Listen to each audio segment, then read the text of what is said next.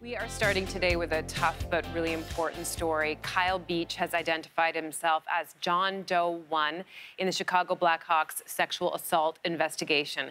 In an exclusive interview with TSN, Kyle opened up about seeing the coach he alleges abused him celebrate the Stanley Cup. It made me feel like nothing. It made me feel like I didn't exist. It made me feel that I wasn't important. And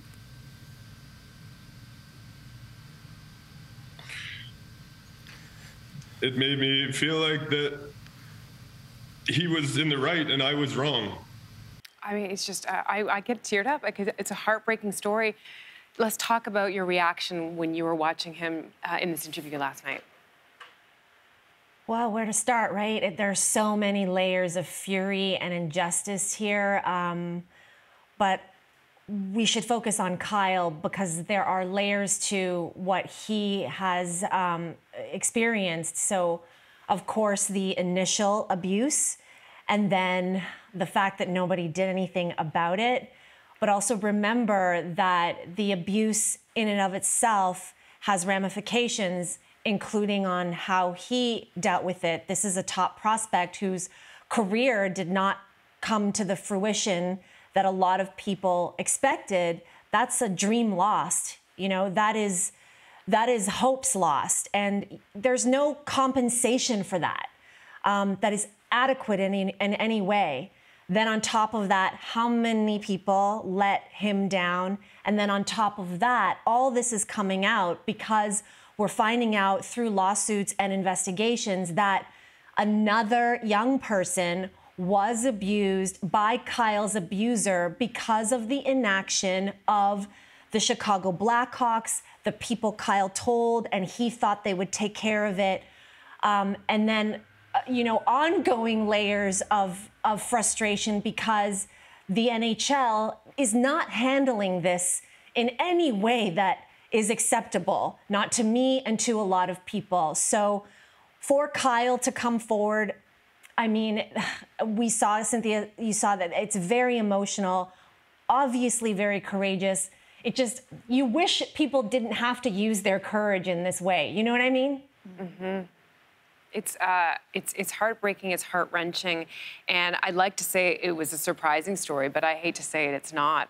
Uh, I think wherever you find, you know, we're talking more and more, thankfully, in the media about this, but wherever you find these huge oceans of power differentials, and it's in many industries, and certainly in sports, it's in the movie industry. It's in the, uh, you know, the uh, Catholic Church, for example, church where there's power differentials, you will find abuse. And in particular, what we're talking about more and more is sexual abuse. And the, and the thing that is, you know, that I can't stop thinking about is how extra hard the layers for men. And I'm going to say men to come forward. And that's why there is this extra piece of courage. It's always courageous to speak out. And yet, I think for men, it's extra hard because there's this. Um, trappings of, of unexpected masculinity and all of the things that that means. And I think there are subtexts and shame um, that is very unique. And, uh, and you know, I, I, just don't know what the answer is going forward because to me, I have an how, idea. Okay, yeah, tell me. What do you? I thinking? mean, this is a cultural malignancy uh, for men and for women, and for anybody who's a victim of any kind of abuse like this. Uh, I think that the first thing that made me stop, as I said, he felt so let down by every person that he thought he could trust to tell to handle this. And then I realized the bigger the organization, the more conflict of interest there is in somebody who is alleging something like this to tell the very organization who stands to lose by listening mm-hmm. to you. Mm-hmm. And it just dawned on me that the bigger the organization, perhaps the more of a need there is to have an outside independent agency that handles any kind of concerns, allegations precisely mm-hmm. like this.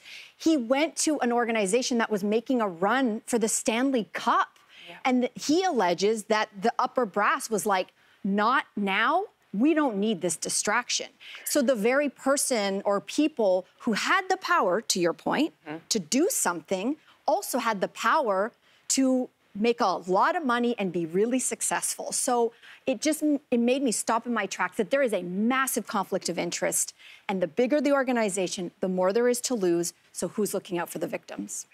Absolutely. Like the bottom line here and in so many cases is a multi-million dollar organization, company, corporation, whatever you want to call it, took advantage of its worker and made that person have trauma, made an unsafe workplace environment so that they could make money. That's what it came down to. And when you think about it in that way, it's criminal.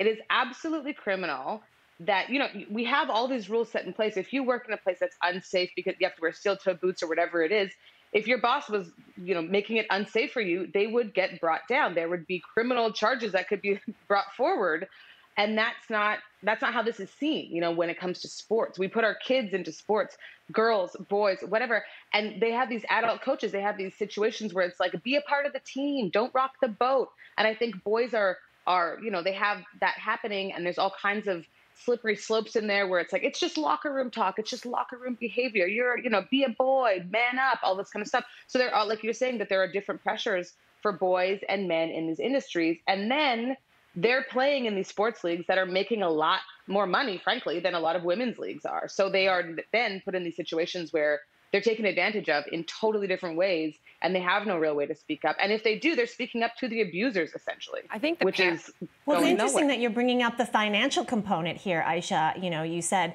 they're making a lot of money and you know, for companies that make a lot of money, we've talked about it so many times on the show about if a, a company screws up and releases a product that is racist, misogynist, we talk about uh, the consumer's right and how the consumer can put pressure on that company to step back and say, I'm not going to support your business if you continue to do this and you don't change the way that you put out your product.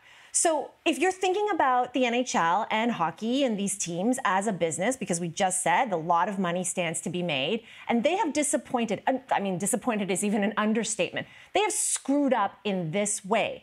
As fans of the sport, for those fans out there, what do you do? What do you ask of your sport and of your team? And how do you redefine what winning and losing means? Mel, you mentioned the Chicago Blackhawks at the time were going for a Stanley Cup. They put the priority of winning the Stanley Cup over and above the well being of Kyle Beach. Is winning a different way, though? You know, could they have won by saying, you know what, this distraction is actually going to be our priority because we care so much about Kyle Beach? I would like to ask that of fans, myself included, fans of any sport um, because I think this is culturally a problem within sport, as you said, Cynthia, and beyond. It's interesting that you're th- saying this. My brain is automatically going to also like all the uproar we've had around certain musicians who've been caught doing improper things. Should we listen to their music? Should we not? Movies of Harvey Weinstein. Should we? Do- These are fans mm-hmm. coming forward and saying, you know what? We have to have a reckoning around this. So again, to your point, what are the fans doing? But I go back even further. I think every parent out there is thinking right now, how do I? Do my best. Obviously, you know, the, the, the onus shouldn't be on the victims. But you as a parent, I, I'm just thinking to myself, like, how do I empower my son, and or if I had a daughter, it'd be the same thing, to make sure that this doesn't happen because you are going to encounter power differentials and if you want to do well in life if you've found your passion you're going to do everything you can to make sure that you're part of the team what aisha was saying so we're having hard conversations already i know you are too yeah. about like yes you have body autonomy. Yes, you can say when something makes you uncomfortable. Yes, you can stand up to power. That you can't, like, and these mm-hmm. are not the mm-hmm. messages I got growing up, which was like, respect your elders, don't question teachers, people in authority are always right. We need to blow that up a bit while still also making sure that we're not creating a monster child. So it's this kind of, yeah. it's a very, very complicated and heavy uh, time to think about these types of issues. Yeah. Yeah. But I hate to be a dumper on that, Cynthia. Yeah, please. But you know, Kyle no, no, I, I agree. I mean, you want to empower children and Kyle thought he was You're empowered right. to move forward. Mm-hmm. He told the people he was supposed to tell. And mm-hmm. what happened was, as he says, uh, they ignored it.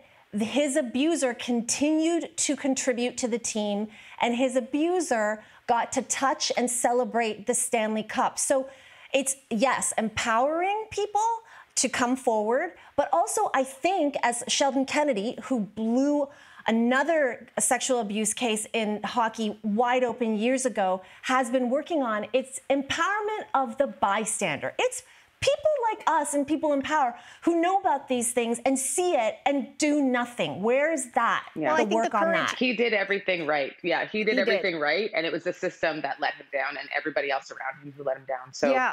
Yeah, I think acknowledging that for Kyle Beach as well, that he did everything right. It's not his fault.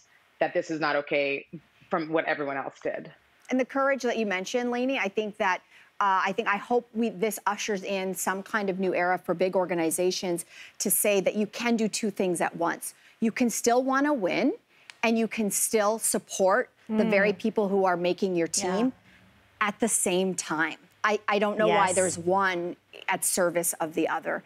Um, anyway, I'm so glad we tackled uh, this story, and please keep sharing your thoughts on social media as we take our first break here. And on the